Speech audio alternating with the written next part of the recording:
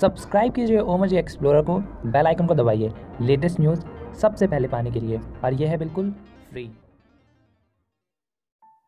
Big boss thirteen के winner बनेंगे आसिम रियाज। ऐसा क्यों कह रहा हूँ मैं? क्या है इसके रीज़न्स और आखिर क्यों बाकी सभी फैंस भी आशिम रियाज को सबसे ज़्यादा सपोर्ट करने लगे हैं?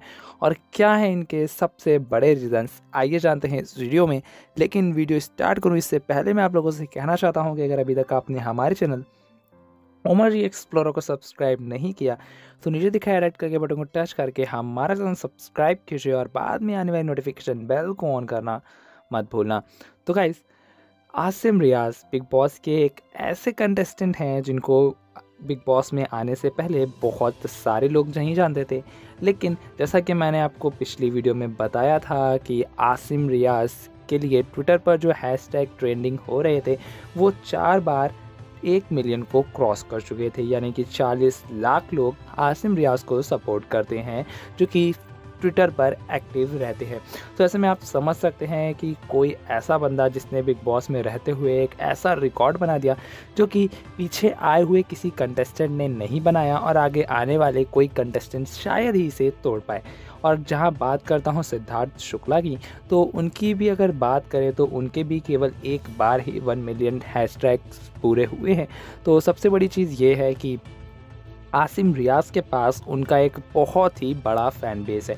और यही रीज़न है कि शायद वो बिग बॉस का शो जीत सकते हैं। एंड अगर मैं सेकेंड रीज़न की बात करता हूँ तो आपने बहुत बार देखा होगा बिग बॉस में आ, एक एग्ज़ाम्पल के लिए लेते हैं कि मान लेते हैं सैफाली बग्घा और पारस इसके साथ ही जो विशाल हैं वो दोनों वो ये तीनों लोग नॉमिनेटेड हैं। तो अगर मान लेते हैं पारस को सबसे ज़्यादा वोट मिले हैं इसके बाद विशाल हैं और इसके बाद शफाली बग्गा है जो कि इविक्ट हो ही जाएँगे।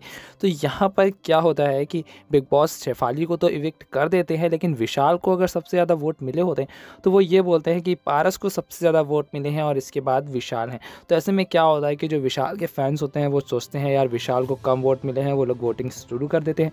और जो पारस के फैंस होते हैं, वो यही सोचते हैं कि, यार, पारस अभी विशाल से ऊपर है तो इसे और ऊपर करने की कोशिश करते हैं और ऐसे में वोटिंग्स दोनों की ही बढ़ जाती है।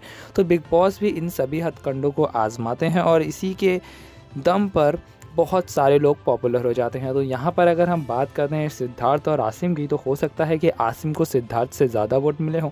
और बिग बॉस ने ये ज़रूर गलत बोला हो या फिर झूठ बोला हो कि सिद्धार्थ नंबर वन पर हैं और आसिम नंबर टू पर हैं। तो ये चीज़ आपको बहुत ज़्यादा ध्यान से समझनी होगी कि हो सकता है कि आसिम रियाज सिद्धार्थ शुक्ला से आगे हों और इतना आगे हों कि सिद्धार्थ शुक्ला उन्हें ओवरटेक कर ही ना पाए। तो गाइज़ यही है अभी।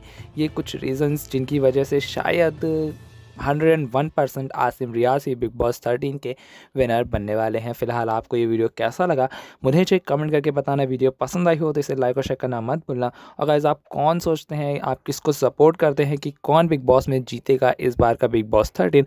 मुझे कमेंट करके ज़रूर बताना। अभी के लिए इतना ही। जय Hind, Vande Mataram. Turn us to thousands.